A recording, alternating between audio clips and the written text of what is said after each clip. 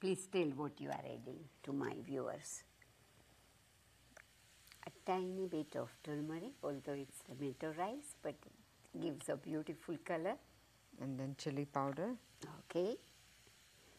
And my many, many, many, many students love little hot, Hot food. food.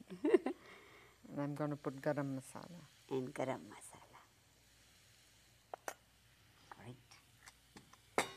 Just saute it a little bit Mhm. and then I'm going to add the tomatoes. Okay. You know, if you have fresh tomatoes, nothing is so good.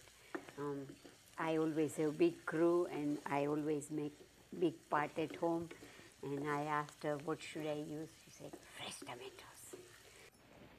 Don't forget the salt, otherwise no matter whatever spices are there without salt. Uh, Chopin Cart has sponsored my show and I'm so ever thankful to Chopin Cart. And now she will put rice inside.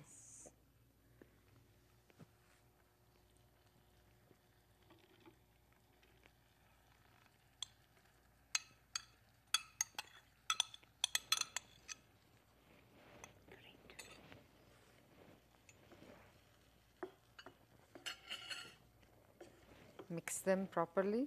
So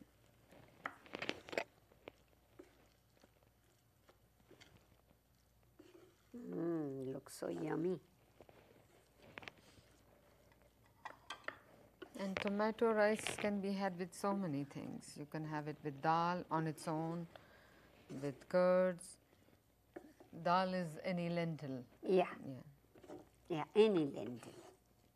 Um, I like to cook my own garbanzo, soak the garbanzo for 5 6 hours and then boil it for 40 minutes and then drain it out.